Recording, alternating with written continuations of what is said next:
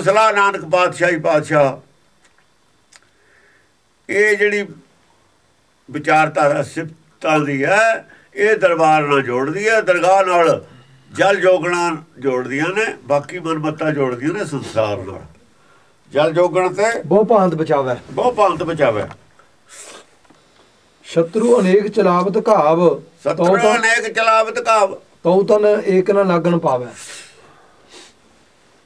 ਛੱਤਰ ਜਿਹੜੇ ਵਕਾਰ ਨੇ ਉਹਦਾ ਨੇਗਾ ਕਾ ਚਲਾਉਂਦੇ ਹੀ ਨੇ। ਵਕਾਰ ਛਤਰੂ ਨੇ ਸਾਡੇ।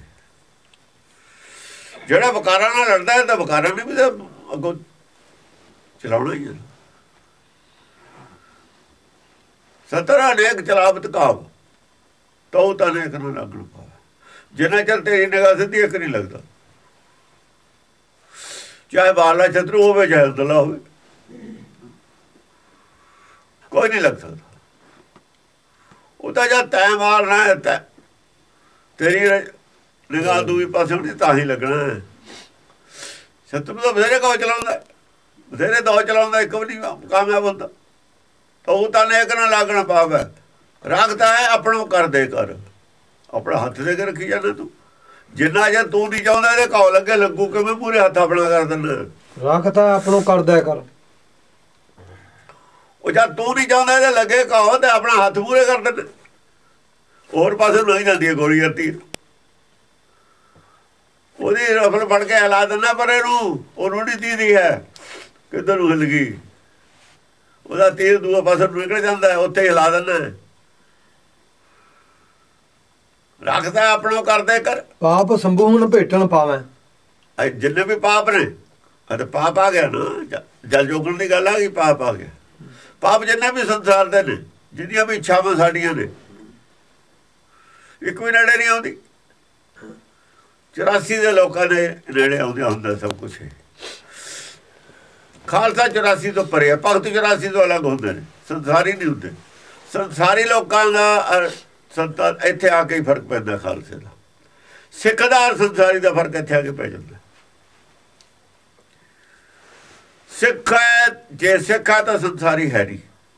ਜੇ ਸੰਸਾਰੀ ਆ ਜੋ ਸਿੱਖ ਹੈ ਨਹੀਂ ਅਸੀਂ ਸੰਸਾਰੀ ਹੋ ਕੇ ਸਿੱਖ ਬਣ ਦਾ ਦਾਵਾ ਕਰਦੇ ਹਾਂ, ਸਿਆਪਾ ਹੈ। ਹੈਗੇ ਸੰਸਾਰੀ ਗੱਲ ਕਰਦੇ ਹਾਂ ਸਿੱਖੀ ਦੀ। ਸਿੱਖੀ ਦੇ ਤਾਂ ਜੋ ਅਸੀਂ ਵਿੜੇ ਜੀ ਨਹੀਂ ਬੜੇ ਗੱਲ ਕਰਦੇ ਹਾਂ ਗੁਰਬਾਣੀ ਦੇ ਸੰਸ਼ੋਧਨ ਦੀ, ਅਰਥਾਂ ਦੀ। ਅਸਲ 'ਚ ਮੰਨ ਲਿਆ ਨਾ ਵੀ ਅਸੀਂ ਸਿੱਖ ਹਾਂ। ਸਿੱਖ ਹੈ ਨਹੀਂ। ਸਾਬਤ ਕਰੇ ਕੋਈ ਆਦਮੀ ਵੀ ਮੈਂ ਸਿੱਖਾਂ ਪਹਿਲਾਂ, ਫੇਰ ਕੋਈ ਗਾਹਾਂ ਗੱਲ ਕਰੇ। ਇਹ ਸਾਬਤ ਕਰੇ ਮੈਨੂੰ ਸਿੱਖੀ ਦਾ ਗਿਆਨ ਹੈ, ਚਲੋ। ਸਿੱਖੀ ਦਾ ਗਿਆਨ ਹੈ ਸਾਬਤ ਕਰ ਦੇਵੇ। ਜੇ ਉਹਨੂੰ ਸਿੱਖੀ ਦਾ ਗਿਆਨ ਹੈ ਤਾਂ ਸਿੱਖ ਹੈ।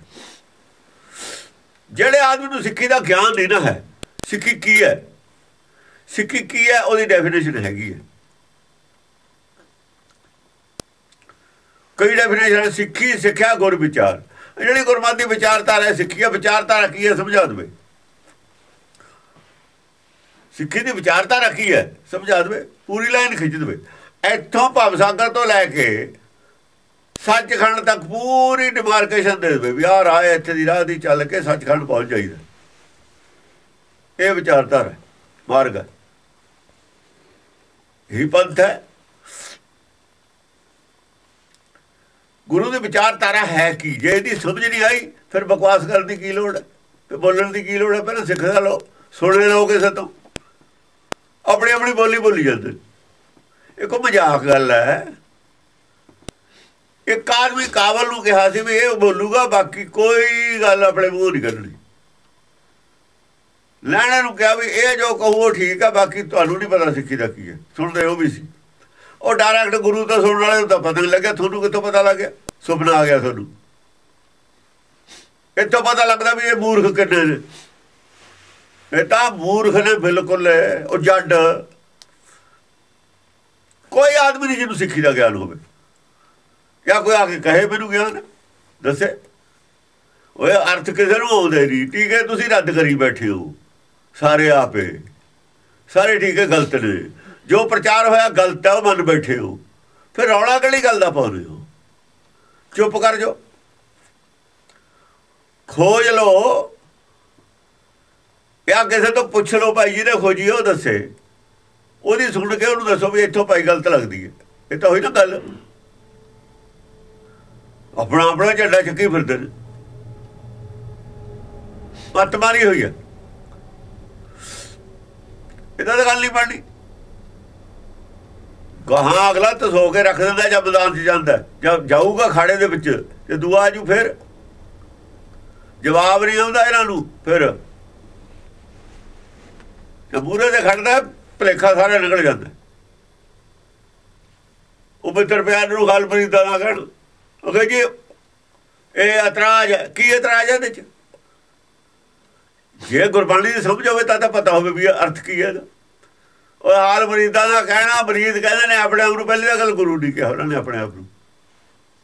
ਮਿੱਤਰ ਪਿਆਰੇ ਨੂੰ ਹਾਲ ਮਰੀਦਾਂ ਦਾ ਕਹਿਣਾ। ਹਾਲ ਮਰੀਦਾਂ ਦਾ ਕਹਿਣਾ ਆ ਇਹਦੇ ਅਰਥ ਨੇ। ਮੈਂ ਮਰੀਦ ਆ ਮੈਂ ਗੁਰੂ ਨਹੀਂ ਹਾਂ। ਜੇ ਜੇ ਤੁਸੀਂ ਮਰੀਦ ਹੋ ਜਾ ਮੈਂ ਮਰੀਦ ਹਾਂ। ਉਹ ਜਿਹਾ ਮਰੀਦ ਬਣੋ ਜਿਹੋ ਜਿਹਾ ਬਣਿਆ ਹੋਇਆ ਮਰੀਦ। ਉਹ ਮਰੀਦ ਹੁੰਦਾ। ਤੁਸੀਂ ਸਿੱਖ ਬਣ ਗਏ ਉਹ ਸਿੱਖ ਹੈ ਜਿਹੜਾ ਮਰੀਦਾਂ ਕਹਿ ਰਿਹਾ ਹੈ। ਉਹ ਸਿੱਖ ਹੈ। ਮਿੱਤਰ ਪਿਆਰਾ ਕਿਹਾ ਬਾਕੀ ਸਿੱਖਾਂ ਨੂੰ। ਉਹਦੇ ਪੰਜ ਪਿਆਰੇ ਨੇ, ਮਿੱਤਰ ਪਿਆਰਾ ਹੀ ਉਹ ਪਿਆਰੇ ਨਹੀਂ ਕਿਹਾ ਹੋਇਆ ਪੰਜ ਪਿਆਰੇ। ਗੁਰੂ ਦੇ ਪਿਆਰੇ ਨੇ, ਲਾਡਲੀ ਫੌਜ ਕਹਿੰਦਾ ਪਿਆਰੇ ਹੀ ਨੇ ਉਹ।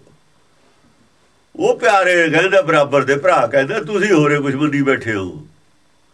ਮਿੱਤਰ ਪਿਆਰੇ ਨੂੰ ਹਾਲ ਮਰੀਦਾਂ ਦਾ ਕਹਿਣਾ, ਮੇਰਾ ਸੁਨੇਹਾ ਦੇ ਦਿਓ। ਇਹ ਰੋ, ਪਿੱਛੋਂ ਅਫਸੋਸ ਨਾ ਕਰਨ ਵੀ ਕੋਈ ਇਹੋ ਜੀ ਗੱਲ ਹੋ ਗਈ।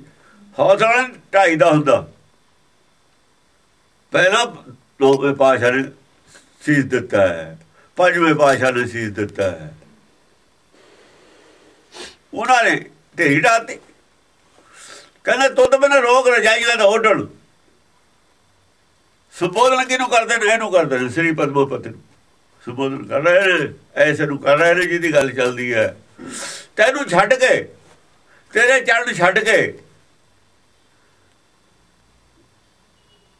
ਮੈਂ ਜੇ ਰਜਾਈਆਂ 'ਚ ਪਿਆ ਹੁੰਦਾ ਨਾ ਅੱਜ, ਉੱਥੇ ਅਨੰਦਪੁਰ ਸਾਹਿਬ, ਉਹ ਰੋਗ ਸੀ ਮੇਰੇ ਵਾਸਤੇ।